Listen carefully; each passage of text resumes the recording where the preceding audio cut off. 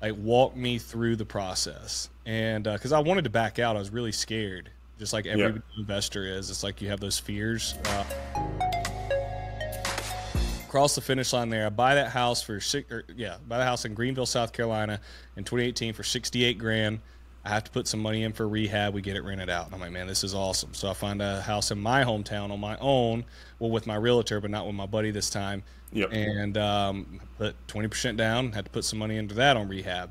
And we had done two properties, and I'm really feeling good about myself, but I'm pretty much out of money. Like, I spent a lot of money. By the time you put, you know, we're talking what is that? Fifteen thousand, call it down on each, and then rehab. We're close to fifty thousand dollars gone. Yeah. That's a lot of money. And so I was like, okay, I have to figure something out if I'm going to keep buying. And I had this bug, like I, I was like, I got to keep buying because I see what this is going to do for me.